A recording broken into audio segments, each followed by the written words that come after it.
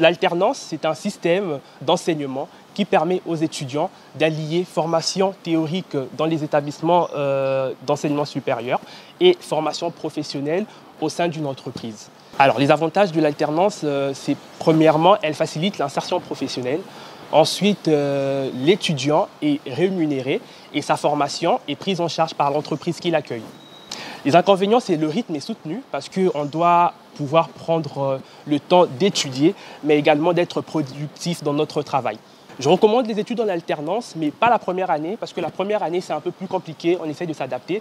Mais euh, après avoir passé une année euh, en France, euh, à partir de la deuxième année, on peut faire des études en alternance si on en a les capacités.